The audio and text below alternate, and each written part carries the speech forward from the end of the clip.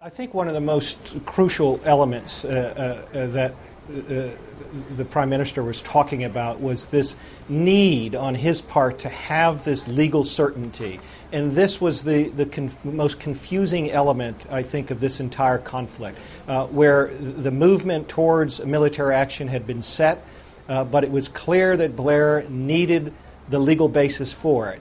And the Attorney General at that time, Peter Goldsmith, uh, was hesitant at the beginning in, in stating that the resolutions that were uh, provided by the UN Security Council allowed the military action without secondary resolutions. And you saw where there was a gradual movement uh, towards uh, agreeing that, in fact, the resolution, this key resolution 1441, uh, was in, in essence self executing. It did not require uh, a second resolution. And this was absolutely crucial, and this was the real debate as to why there was a, a, a movement from some hesitation in admitting that or, or, suggesting that there needed to be a second resolution with at the end legal certainty.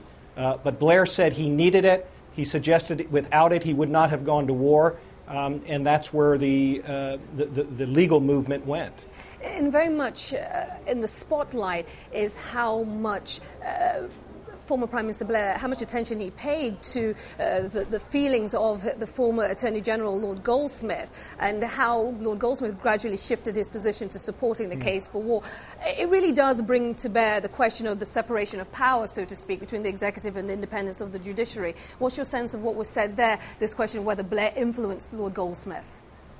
Yeah, I mean, Blair was very careful in saying that uh, Lord Goldsmith uh, was uh, had the the, the, uh, the, the independence to give whatever advice he would give. Uh, Lord Goldsmith uh, is well known here in England, a great integrity, but clearly you get the sense that the decision for military action was already moving forward. It had advanced in a very significant way, and that there was then attempt to somehow mold the legal basis for doing so. And, and the Prime Minister needed that legal basis uh, in order to move forward. And that's the, the uncomfortable aspect of this. Uh, and it's, I'm, I'm hopeful that this Commission will continue to, to uh, drill down on, on that particular issue. I think it's the most crucial point uh, of the decision to go to war is how that legal, uh, the decision to, to, to grant and to give a green light to go forward uh, at the end when clearly going up to that point, there was really uncertainty and doubt about whether a second resolution was needed. This inquiry is an inquiry, it is not a trial, but the questioning mm. has nonetheless been quite robust. What have you made of, of the exchanges and how Blair is being handled by, by those on the panel?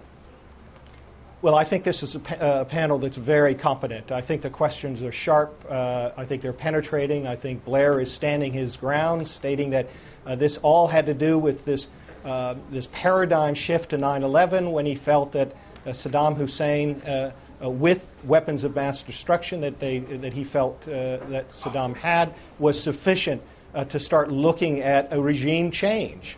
Um, and so I think that that was very, I, I think this is very important. It's also, I think, important to note that I think the UK and the government should be congratulated for having undertaken this type of inquiry. Although it's not a court of law, uh, it's still very, very important that this type of public hearing takes place. It certainly has uh, similar types of hearings have not taken place anywhere else, including the United States.